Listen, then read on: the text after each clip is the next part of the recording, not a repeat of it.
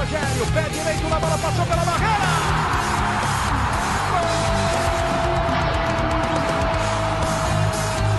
Salve nação tricolor, seja bem-vindos no canal e se você é novo aqui inscreva-se e ative as notificações assim você não perde mais nenhum vídeo aqui do canal.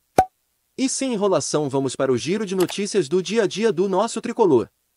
Uma boa novidade nesta segunda-feira e uma má notícia para o torcedor tricolor, o atacante Jonathan Caleri está de contrato renovado.